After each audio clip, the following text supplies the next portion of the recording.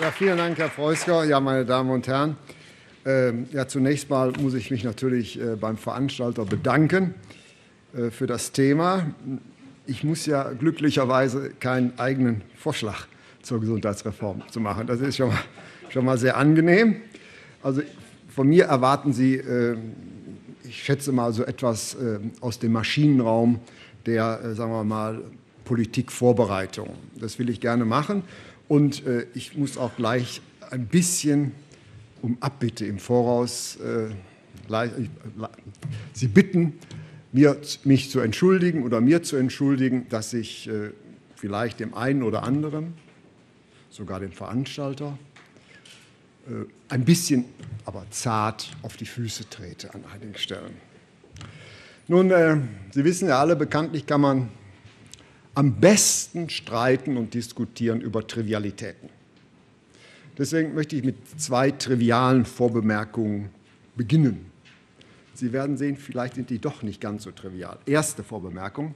Demokratie bedeutet durch freie Wahlen legitimierte Herrschaft auf Zeit. Und Politik in einem demokratisch verfassten Gemeinwesen bedeutet gesellschaftliche und damit beispielsweise auch gesundheitspolitische Fehlentwicklung am besten antizipativ zu verhindern, wenn das nicht möglich ist, reaktiv zu beseitigen. Antizipative Politik ist in Lehrbüchern die beste, in der Realität findet man sie nie. Äh, die meisten Probleme sind bestens prognostiziert. Ähm, deswegen Politik besteht durchweg im Reagieren und Nachsteuern. Allerdings Mindestens genauso wichtig in der Realität ist eine dritte Form der Politikvariante, die nicht in Lehrbüchern steht.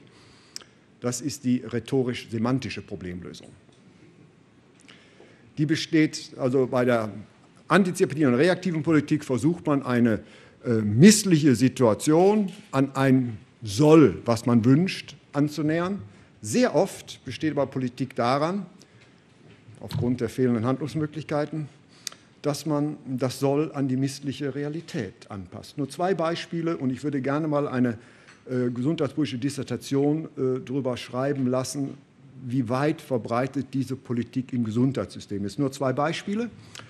Ähm, zu Beginn der 1970er Jahre seiner Kanzlerschaft hat Willy Brandt, damals Bundeskanzler, jedem Deutschen die Erhaltung seines Arbeitsplatzes garantiert. Das war die sogenannte Vollbeschäftigungsgarantie.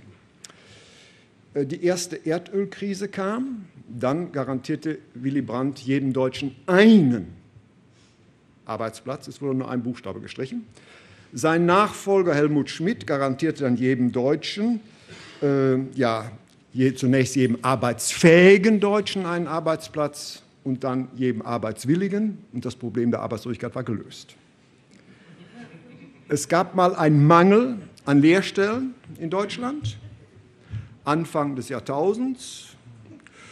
Und deswegen haben die Bundesregierung und die Spitzenverbände der Wirtschaft mit großem Aplomb am 16. Juni 2004 ähm, den Nationalen Pakt für Ausbildung und Fachkräftenachwuchs in Deutschland verabschiedet.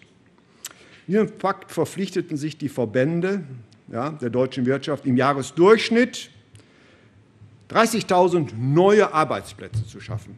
Klingt toll. Nur gebraucht worden wären zusätzliche Arbeitsplätze. Neue entstehen jedes Jahr automatisch und digital kann dazu zurücklegen. Das Ausbildungsproblem war gelöst. Und wie gesagt, ich würde gerne mal im Bereich äh, der Gesundheitspolitik sehen, wie Probleme gelöst werden. Die rhetorisch-semantische Bewältigung ist äh, sehr verbreitet. Zweite Vorbemerkung. In den Jahren 1974, 1975 hatte ich mal für anderthalb Jahre die Möglichkeit, in der Planungsabteilung des Bundeskanzleramtes unter Helmut Schmidt zu arbeiten. Und da habe ich eine Menge Erfahrungen sammeln dürfen, die mein Politikverständnis und vielmehr noch mein Verständnis für wissenschaftliche Politikberatung geprägt haben und damit auch meinen späteren Berufsweg. Und der wichtigste Satz, den ich dort gelernt habe von Helmut Schmidt, lautete, in einer Demokratie geht jedem gestaltenden Schritt, Reform, ein mehrheitsbeschaffender Prozess voraus.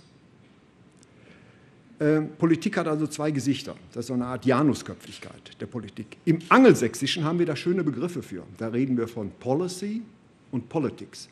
Policy ist die theoriegeleitete Entwicklung von Strategien zur Lösung von Problemen. Das ist das, was wir in der Uni lehren und lernen. Monetary Policy, Labor Market Policy, Fiscal Policy.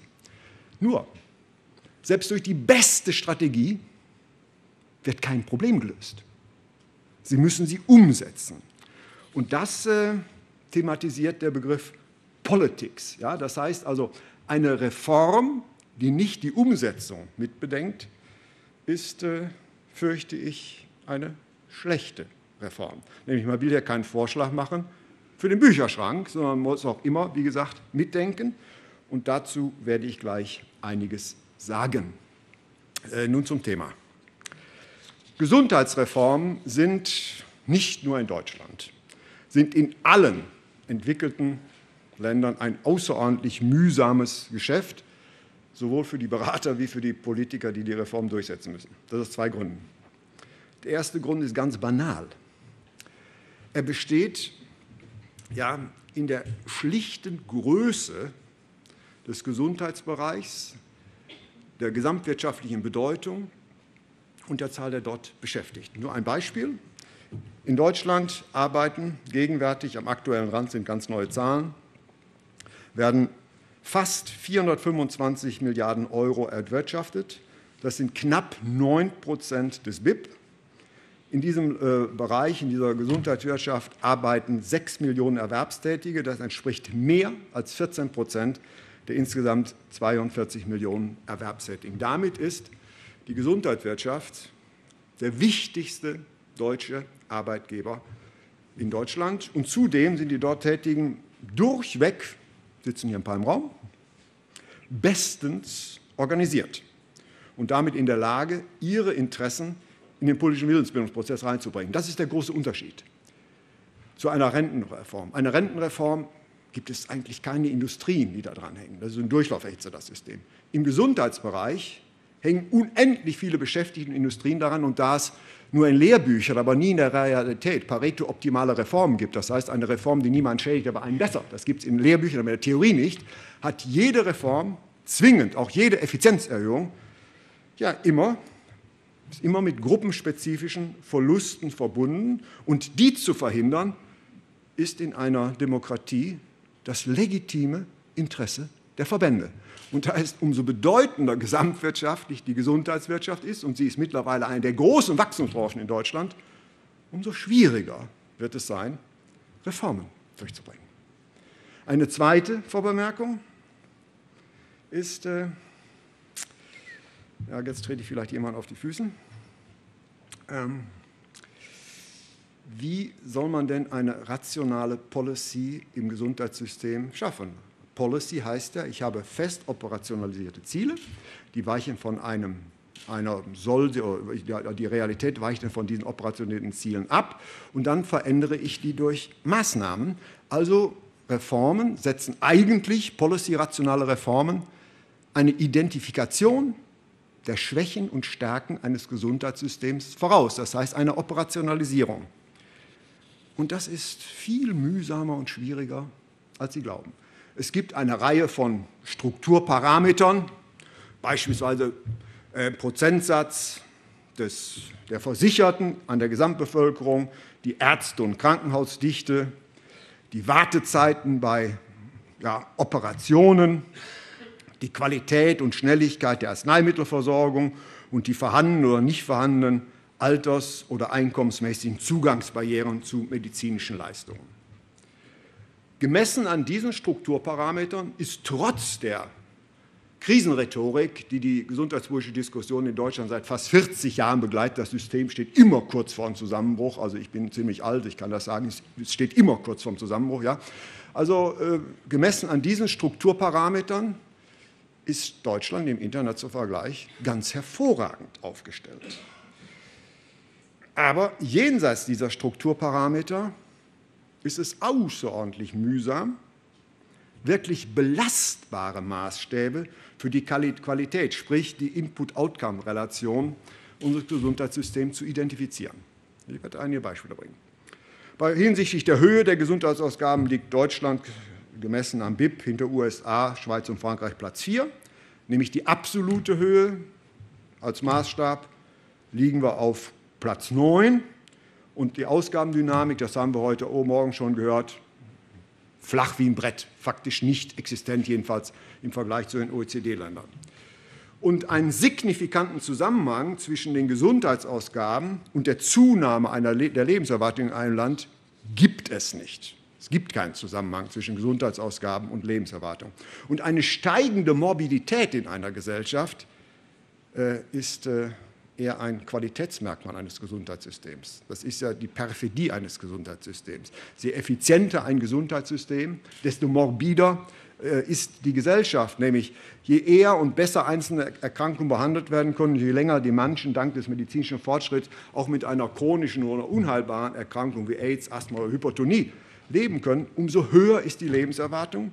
Und mit steigendem Alter steigt nun einmal die Multimorbidität. Wir sterben nicht gesund mit 120. Ja?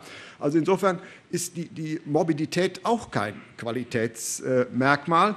Und die regelmäßig kolportierten Zahlen, gigantischen Zahlen von angeblich überflüssigen Doppeluntersuchungen aufgrund der in Deutschland typischen doppelten Facharztschiene, die vielen überflüssigen Operationen, über die gestern Herr Jauch eine ganze Sendung gemacht hat, da gibt es sagen wir, anekdotische Belege dafür, aber so richtig nachvollziehbar ist das alles nicht.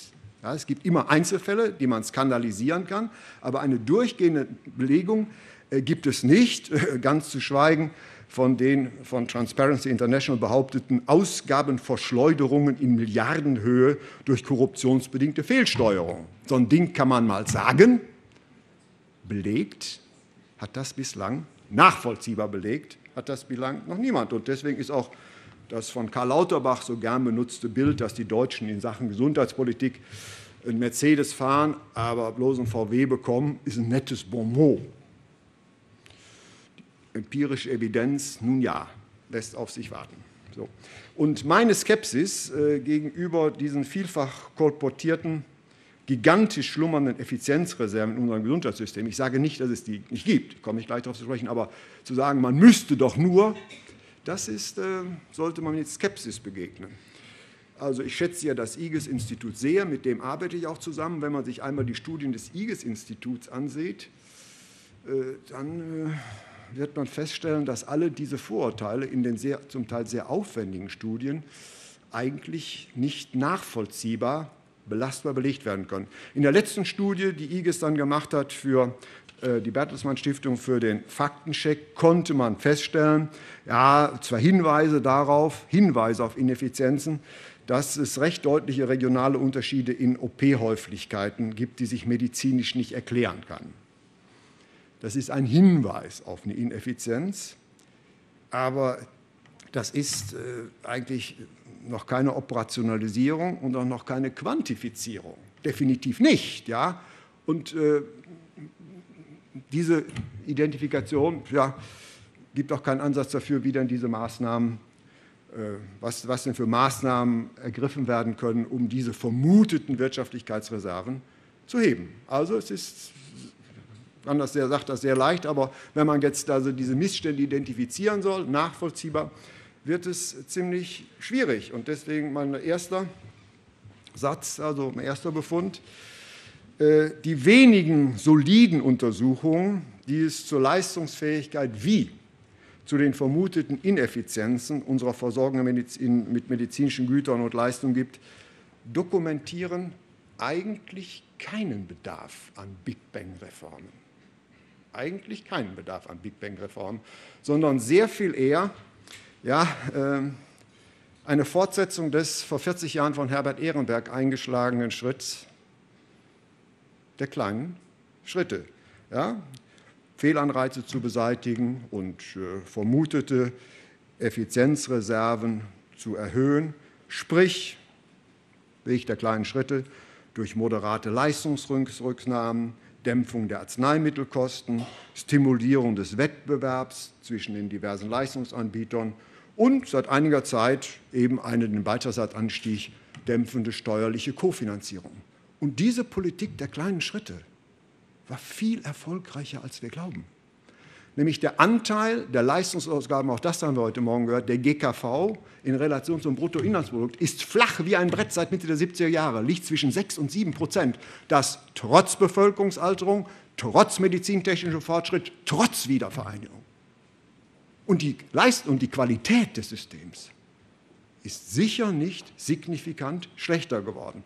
Ich sage nicht, dass es noch jede Menge sogar Effizienzreserven gibt, aber jetzt ein Königsweg, wie man die hört, das geht es nicht. Das wird immer eine Politik der kleinen Schritte bleiben. Und selbst für das Megathema der letzten zehn Jahre, die Bürgerversicherung, ist natürlich auch ein Megathema. Und es gibt in der Tat kein versicherungsökonomisches Argument für diesen Dualismus, den wir haben. Gibt es kein Argument für, der ist nur historisch gewachsen. Äh, und deswegen kann man natürlich sich überlegen, wie überwindet man den. Allerdings, und das ist auch in den Vorschlägen der Parteien sehr klar zum Ausdruck genommen, wird diese Bürgerversicherung, ja, die ja letztlich nur ein Problem lösen will, doch sehr oft als eine Projektionsfläche unerfüllbarer Hoffnungen äh, benutzt, nämlich Hoffnungen auf eine höhere Versorgungsqualität, auf eine Mobilisierung vermuteter Effizienzreserven, die Demografieresistenz äh, des Systems zu erhöhen oder zu einer klassenlosen medizinischen Versorgung zu kommen. Das hat alles, Entschuldigung, äh, mit der Dysfunktionalität des dualen Systems nichts zu tun. Die Beseitigung dieser Effekte ist genau wieder der alte Schritt Politik äh, der kleinen Schritte, nämlich wenn wir einen Blick ins Ausland werfen, da muss man nicht nur die PKV-Studie nehmen, zeigen eigentlich, dass Länder mit Bürgerversicherung also mindestens genauso große äh, Effizienzprobleme haben wie wir.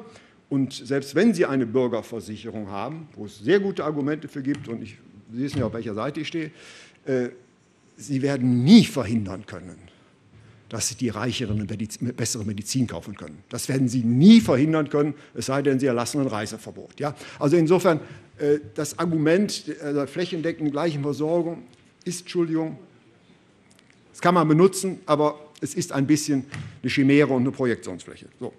Das heißt nicht, dass man darüber nachdenken soll, aber die versorgungsseitigen Probleme werden durch eine Ausweitung des versicherten Kreises oder durch eine andere Art der Finanzierung eigentlich nicht gelöst. So.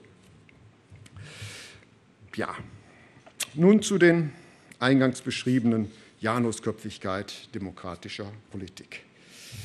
Wenn wir das akzeptieren, dass Politik so einen Januskopf hat und damit natürlich auch Gesundheitspolitik, dann folgt daraus, dass gesundheitspolitische Beratung, soll sie erfolgreich sein, immer die Umdenkung mitsetzen muss, mitdenken muss. Kurz, Beratung, die sich in der Erarbeitung von ähm, Maßnahmenbündeln erschöpft, würde ich mal als Politikfeldanalyse bezeichnen, aber definitiv noch nicht als wissenschaftliche Politikberatung nämlich wissenschaftliche Politikberatung, muss in der Lage sein, zusammen mit den verantwortlichen Entscheidungsträgern, deswegen muss man sich überlegen, wen unterscheide ich, das heißt die Beratung, auch die wissenschaftliche Beratung hängt natürlich vom Adressaten ab. Und der Adressat ist immer ein Entscheidungsträger. Und deswegen wissenschaftliche Politikberatung muss in der Lage sein, zusammen mit den avisierten politischen Entscheidungsträgern ein Reformkonzept auch situationsspezifisch zu portionieren. Das heißt, große erdachte Lösungen, um den Preis der Mehrheitsfindung in sinnvolle Teilprojekte aufzuspalten. Allerdings, und das ist das Schwierige, ohne dabei das Gesamtkonzept aus dem Auge zu verlieren. Große Würfe gehen nicht. Sie müssen, denke ich, portioniert werden. Und deswegen ist äh, wissenschaftliche Politikberatung auch etwas anderes als äh, wissenschaftliche Begutachtung, wie sie von Sachverständigen, wissenschaftlichen Beiräten, Forschungsinstituten, der Bertelsmann Stiftung oder Einzelforschern vorgenommen wird. Nämlich Reformvorschläge, die, jetzt kommt das Füßetreten, äh, davon ausgehen, dass es objektiv möglich ist, sowohl den Reformbedarf die Lösungsansätze als auch die richtige Reihenfolge festzulegen, das ist für mich ein technokratischer Approach, der unpolitisch ist. Und das war bislang nicht nur im Gesundheitsbereich ziemlich erfolglos, was die Umsetzung angeht. Und ein schönes Beispiel ist hier aus einer Broschüre Mehr Strategie wagen, der Strategiekompass. Das ist brillante Politikfeldanalyse, aber keine wissenschaftliche Politikberatung. So. Deswegen, der Bertelsmann, die Bertelsmann Stiftung ist ein hochkarätiger Think Tank. Er gab und gibt bei anerkannten Instituten Experten zu wichtigen Fragen des Gemeinwesens Studienauftrag, auch an mich dankenswerterweise, äh, und komponiert daraus ein Zehn-Punkte-Programm oder was auch immer, jedenfalls äh, im Vertrauen auf die geballte Kraft des Fachwissens der diversen beteiligten Policy Sciences Reformpakete. Ja, von dem, was man, glaubt, was man selbst glaubt, was äh, für richtig ist. Wenn Sie aber jetzt einmal ganz ehrlich sind und analysieren, die die reversen Reformvorschläge, die Sie nicht im Hochschulbereich machen, den lasse ich mal aus, sondern im Bereich der Sozialpolitik gemacht haben, Renten- und Gesundheitspolitik, war trotz der analytischen Brillanz der Umsetzungserfolg, lassen Sie mich vorsichtig formulieren, überschaubar. Der Grund dafür ist der folgende. Solche elaborierten und sehr stringenten Politikanalysen berücksichtigen nämlich weder die Frage, wie die für die Umsetzung erforderlichen Mehrheiten zu beschaffen sind, noch erhalten sie, und das ist das Entscheidende, ja, die politikfeldumgreifenden Kompensationsgeschäfte, die das Wesen von Politik ist. Ja, also Gesundheitspolitik spielt nicht nur auf dem Feld der Gesundheitspolitik. Das Bargaining, ja, das Politikfeldübergreifende ist essentiell also für Politik. Und, äh, ja, und daraus folgt dann, wenn solche wirklich elaborierten Vorschläge bei Politikern keine Resonanz finden, wird die Politik als beratungsresistent betrachtet. Das ist die typische Reaktion. Die tun nicht, was ich sage, also sind die beratungsresistent. Ob der Vorwurf gerechtfertigt ist, weiß ich nicht. Ja? Oder gleichzeitig kommt dann natürlich auch so gelegentlich so eine Sehnsucht nach dem weisen Diktator auf. Ja, ist, ja, Journalisten haben den, Manager haben den und auch Oppositionspolitiker haben den gerne. Ja, das, ja. So, und, und hinter diesen Vorwürfen an die Politik oder den Sehnsüchten nach den großen Würfen steht stets der Glaube, dass es so etwas wie ein Gemeinwohl gäbe, äh, ja, das sich doch äh, jenseits des Gezänks innerhalb der Parteien und Interessenverbänden identifizieren ließ. Also man glaubt, es gibt so einen archimedischen Punkt, da streiten die und es gibt etwas, was das Allgemeinwohl ist. Ich glaube, das gibt es nicht. Es gibt kein Allgemeinwohl. Jedenfalls kein, äh, kein Allgemeinwohl jenseits der Partialinteressen. Sie erinnern sich an meine Definition von Demokratie. Und für mich folgt daraus, dass in einer freiheitlichen Gesellschaft das Allgemeinwohl immer nur so etwas sein kann, wie die Diagonale im Parallelogramm der jeweiligen politischen Kräfte. Das Allgemeinwohl ist keine invariante Größe. Das Allgemeinwohl ändert sich mit der Befindlichkeit der Altersstruktur der Interessen innerhalb einer Gesellschaft. Es gibt nicht das die, die richtige Lösung. Das Allgemeinwohl ist jedenfalls nichts Objektives oder von Wissenschaftlern identifizierbares. Das Gleiche gilt im Übrigen auch für Gerechtigkeit.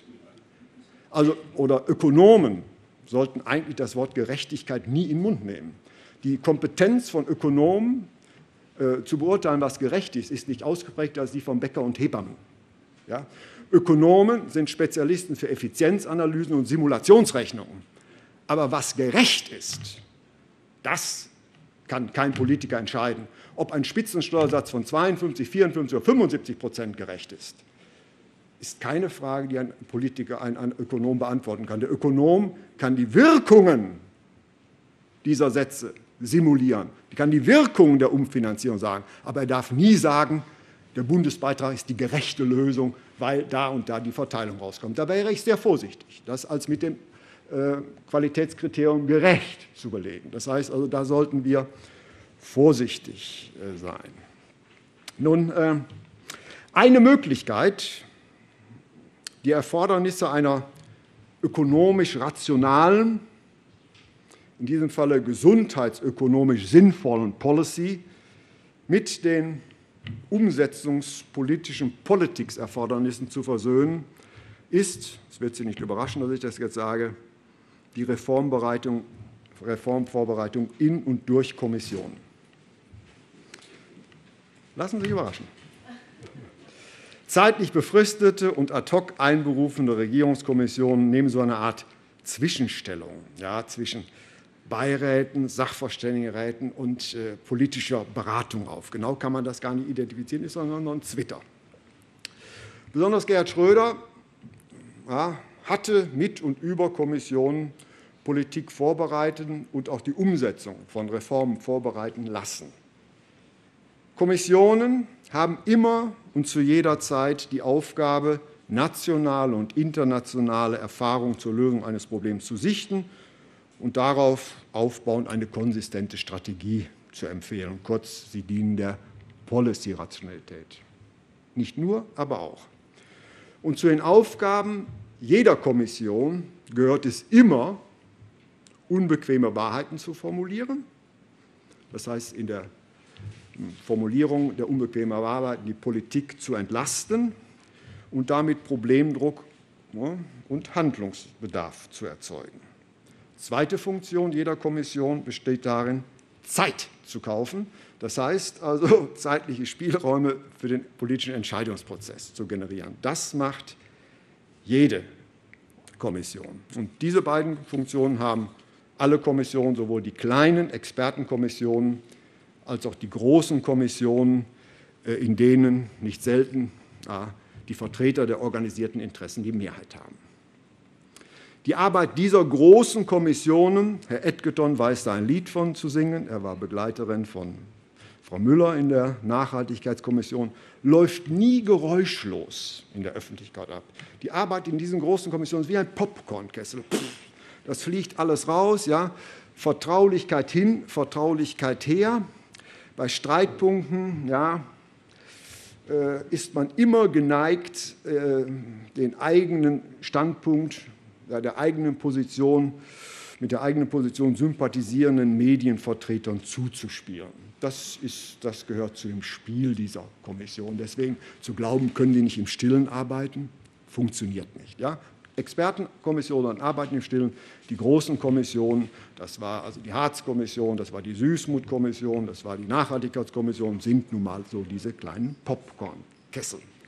Allerdings die Aufgabe dieser großen Kommission, das wird immer wieder übersehen, besteht nichtmals in erster Linie in der Konzeption von policy-rationalen äh, Strategien, sondern besteht, ich würde sogar sagen, fast in erster Linie darum, da ja alle organisierten gesellschaftlichen Interessen da sind, in dieser kleinen Gemeinschaft der Kommission, die alle organisierten Interessen beinhaltet, ja auch im Streit Kompromisslinien auszuloten, Bargaining-Geschäfte auszuloten. Das ist eine Vorwegnahme der ohnehin zu erwartenden politischen Diskussion im Kleinen. Und deswegen diese Diskussion in diesen Kommissionen ja, soll eben nicht, wie Herr Papier meinte, die äh, politische Willensbildungsprozess in indemokratischer Weise ersetzen. Das ist völliger Quatsch.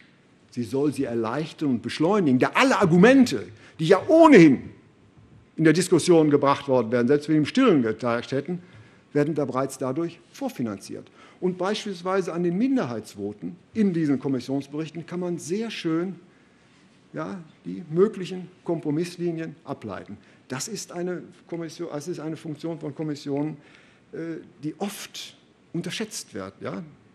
Sie dient nach der Rationalisierung der politischen Willensbildungsprozess, einer rationaleren Diskussion im kleinen Kreise als in der Öffentlichkeit. Und gemessen daran, was von den Vorschlägen umgesetzt worden ist, gab es, glaube ich, drei erfolgreiche Kommissionen. Das war einmal die Kommission zur Neuordnung der steuerlichen Behandlung von Altersvorsorgeaufwendungen und Altersbezügen, wurden eins zu eins umgesetzt, die Vorschläge, relativ schnell. Äh, dann die Kommission Moderne Dienstleistungen am Arbeitsmarkt, die Harz-Kommission, wurde ziemlich erstmal alles durchgesetzt, war ein Schrotschuss. Dann hat man evaluiert und hat da dann viel weggeschnitten. Aber was wir jetzt haben, ist auch aus dieser Kommission gekommen. Und dann auch äh, die ja, Kommission für die Nachhaltigkeit in der Finanzierung der sozialen Sicherungssysteme, die Rürup-Kommission, war, vorsichtig formuliert, in Teilen erfolgreich. Äh, ich werde gleich sagen, welche Teile es waren.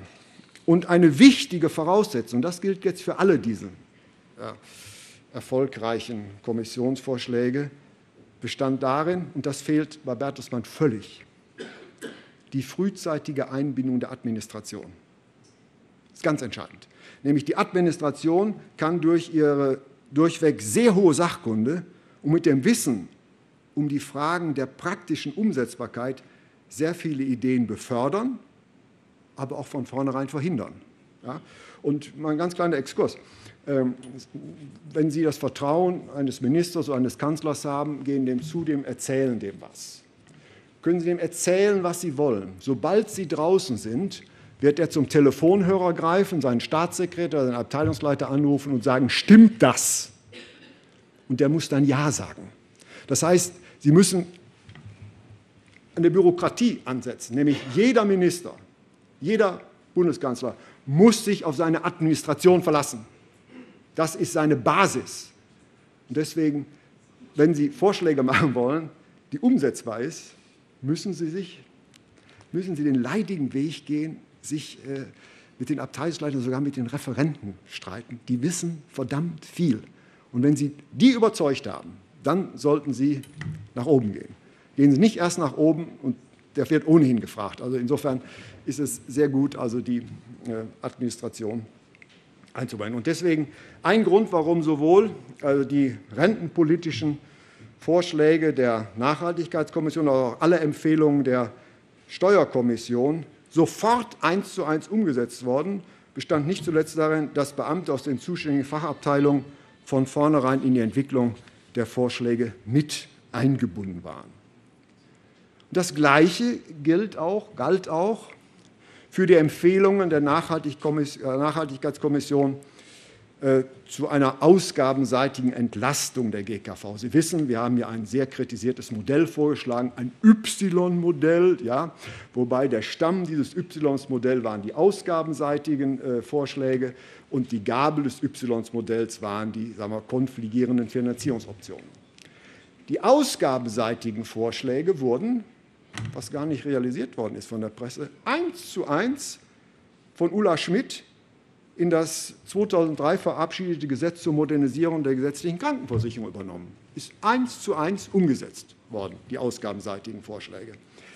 Die Gabel, der Finanzierungsanteil, der Finanzierungsteil, ja, war, lassen wir mal vorsichtig formulieren, politisch nicht sonderlich erfolgreich. Ja. Ähm, äh, dieser Streit zwischen Pauschalprämien mit steuerfinanziertem Sozialausgleich versus einkommensabhängige Beiträge von allen Erwerbstätigen hat äh, äh, in der Diskussion in den Jahren 2003 bis 2005 heftige Spuren hinterlassen, sowohl im politischen Bereich als auch in der akademischen Diskussion. Es wurden sehr zahlreiche und aufwendige Berechnungen vorgelegt und komplexe Teilaspekte diskutiert. Allerdings muss man sagen, ähm, nach der Fast-Niederlage der ein Pauschalprämienmodell favorisierenden Unionsparteien im Bundestagswahlkampf 2005 wurde es absolut totenstill um das äh, Pauschalprämienkonzept, wenngleich es von der ganz überwiegenden Mehrzahl der Gesundheitsökonomen favorisiert wurde. Das heißt, Policy schlecht nicht Politics. Ich kenne eigentlich keinen Gesundheitsökonom, der nicht für das Pauschalprämienmodell war, weil die Verteilungswirkungen sehr viel präziser und, und, und sind. Ja? Aber es war tot, unabhängig von der ökonomischen äh, Rationalität. Wahrscheinlich lag es auch am Begriff, Kopfprämien kommt nicht so gut. Ja, ja muss man sagen. Ja? gut. Äh, das heißt also, nachdem die Diskussion darüber ja, eingeschlafen ist, hat man sich dann wieder mehr ja, der Versorgungsseite zugewandt. Äh, dann bekam die Diskussion aber wieder Schub, als dann Wolfram Richter, äh, Finanzwissenschaftler aus Dortmund im Jahre 2006, äh, seinen Gesundheitsfonds vorschlug, ja, hat das so die Blockade in der finanzierungsseitigen Diskussion gelöst. Ja? Dies aber, Politics, meine Damen und Herren, nicht, weil dieses Fondsmodell die Vertreter der Bürgerversicherung und des Pauschalprämienkonzepts überzeugt und versöhnt hätte. Nein, nur deswegen, weil der Fonds ein ordnungspolitisches Neutrum ist und er sich wieder hervorragend eignete als Projektionsfläche dessen, was man eigentlich hoffte. Ja, ist der Fonds eingerichtet, deswegen war die SPD dafür, kann man, wenn er mal eingerichtet ist, sofort die PKV in den Fonds reinnehmen, wie bei der Bürgerversicherung. Und die Union war für das Fondskonzept, ist der Fonds mal eingerichtet, kann ich sofort in einer logischen Sekunde daraus ein Pauschalprämienmodell nach niederländischem Modell machen. Ja, das ist die, die Infrastruktur, die ein Neutrum war. Und das äh, hat zu der Einführung geführt, nicht die theoretisch-ökonomische Überlegenheit äh, dieses Konzepts. Ja? Wir haben ihn seit 2009. Ob er wirklich so toll funktioniert, naja, kann man darüber diskutieren. Nun, ein letztes Wort. Ich habe ja schon fast eh zu lange geredet. Äh, was vielleicht auch noch wichtig ist.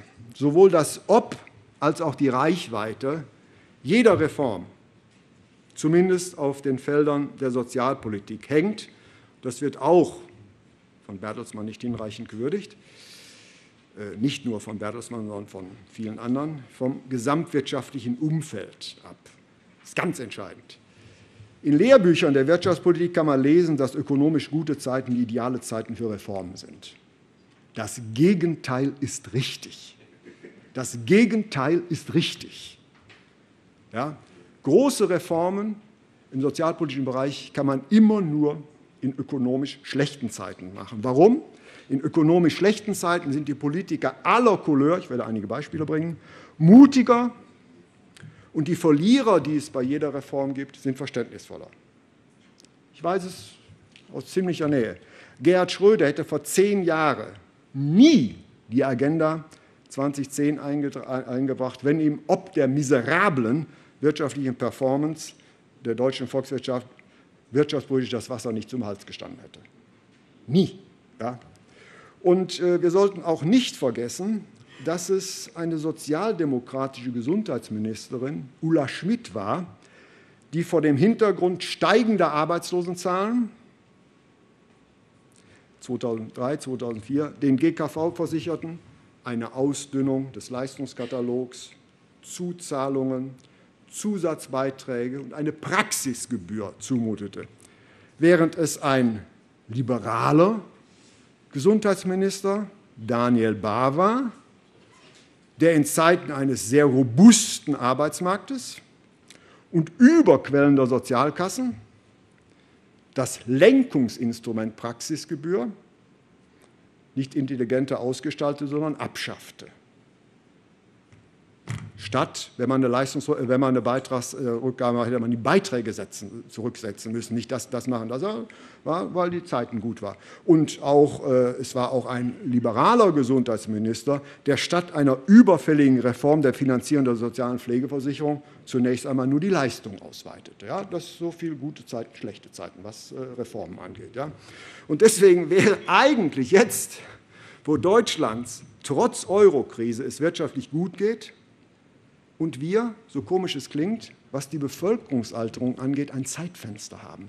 Nämlich gegenwärtig sind wir im Zeitraum, wo Alt der Anstieg der Altersquotienten sehr moderat ist, fast stagniert.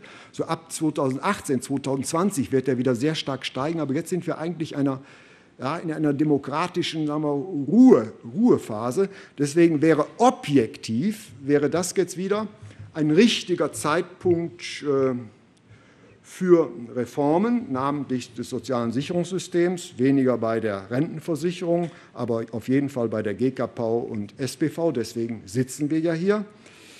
Aber äh, sowohl die Politik der letzten Jahre als auch alle Wahlkampfprogramme zeigen ja eigentlich, gegen gute Zeiten kommt auch die beste wissenschaftliche Beratung nicht an. Da nun einmal Politik in, in einer Demokratie eben nicht nur in der Umsetzung des sachlich Gebotenen besteht. Vielen herzlichen Dank.